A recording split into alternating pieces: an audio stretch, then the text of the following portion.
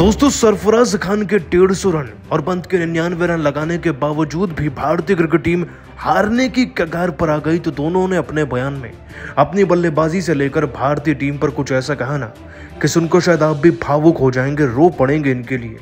आखिरकार पंत और सरफराज अपने अपने बयान में क्या कुछ कहकर गए?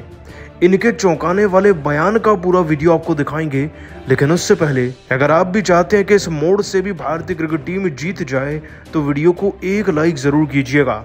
दोस्तों, पहले टेस्ट मैच में भारत का कम कराने वाले, जीत के पास लाने वाले थे सरफराज खान और ऋषभ पंत। चौथे दिन के खेल की बात है, जब सरफराज ने सत्तर रन से अपनी पारी की शुरुआत करी तो वह ऋषभ पंत ने भी मैदान में आकर उनका बखूबी साथ निभाया। इधर सरफराज खान ने शतक चढ़ा, शतक के बाद डेढ़ सौ रन तक बनाए। और ऋषभ पंत भी भारत के झंडे को ऊपर ले जाते हुए अपनी पारी में नब्बे के स्ट्राइक रेट से पाँच छक्के, नौ चौके जड़कर निन्यानवे रन बना जाते हैं। लेकिन फिर भी भारतीय क्रिकेट टीम के हाथ कुछ लगता नहीं, क्योंकि इन दोनों की पारियाँ दूर से देखने में तो बहुत अच्छी थी, लेकिन जब टोटल पर नज़र पड़ी तो आने वाले पाँच बल्लेबाज तीस रन के अंदर आउट हो गए। जिससे कि टीम का सारा बैलेंस बिगड़ गया और सारा प्रेशर, सारा बल्लेबाजी का धर्मदार टॉप और मिडिल ऑर्डर पर ट्रांसफ़र हो गया।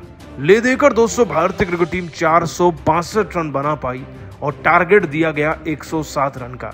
अब आलम यह है कि भारतीय क्रिकेट टीम हारने की कगार पर आ चुकी है, क्योंकि ऐसा तो नहीं कि न्यूजीलैंड की टीम पाँचवें दिन आए और इतने लक्ष्य को ना बना पाए।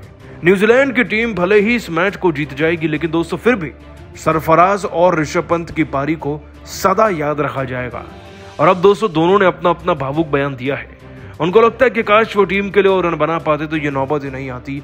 सबसे पहले दोस्तों, सरफराज खान ने कहा, आज ऐसा प्रतीत हो रहा है कि टीम के लिए शतक डेढ़ सौ या तोहरा शतक कुछ भी मायने नहीं रखता। क्योंकि अगर आप अपने देश के लिए उतने रन नहीं बना पाए, जो आपको किसी स्थिति में से निकाल कर जीत की तरफ़ ले जाए तो आपकी बल्लेबाजी वाकई में मायने नहीं रखती है। मेरे डेढ़ सौ रन अगर 200 होते या 250 तक स्कोर पहुँचा पाता तो शायद और ज़्यादा बेहतर लगता। इसलिए नहीं कि मैं अपने मैच में दोहरा शतक लगा पाया, बल्कि इसलिए कि हमारी टीम का स्कोर पर्याप्त टारगेट तक पहुँचता। जिसे डिफेंड करने में हमारे गेंदबाज जद्दोजहद कर सकते थे, लड़ सकते थे, न्यूजीलैंड की टीम को रोक सकते थे, लेकिन अब ना तो उतना बड़ा टारगेट है, और ना ही मुझे लगता है कि हमारी टीम इसे डिफेंड कर पाएगी।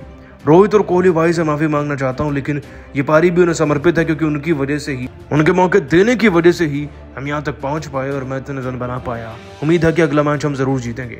तो वही दोस्तों, ऋषभ पंत ने भी कहा, निन्यानवे पर आउट होने पर इतना दुख नहीं हुआ जितना हमारे पाँच विकेट गिरने पर हुआ, क्योंकि मैं जानता था कि हमारी टीम को एक बड़ा टोटल तो चाहिए। लेकिन यहाँ बात निन्यानवे रनों की थी ही नहीं। अगर ये एक सौ निन्यानवे भी होते, तब भी मुझे संतुष्टि नहीं होती।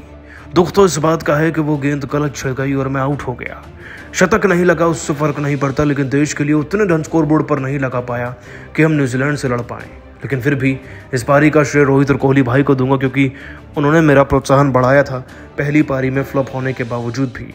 लेकिन अपना देश अगर नहीं जीता तो ऐसी सौ पारियाँ भी कुर्बान है। दोस्तों ऋषभ पंत और सरफराज खान भले ही उम्र में छोटे हैं, लेकिन अकल और बल्लेबाजी में बहुत बड़े हैं। इन दोनों के शब्द बताते हैं कि टीम के लिए क्या कुछ सोचते हैं। वैसे आप सभी का क्या मानना है? पंत और सरफराज में से किसकी बल्लेबाजी ज़्यादा बेहतर थी इस मैच में? नीचे कमेंट कर बताइएगा।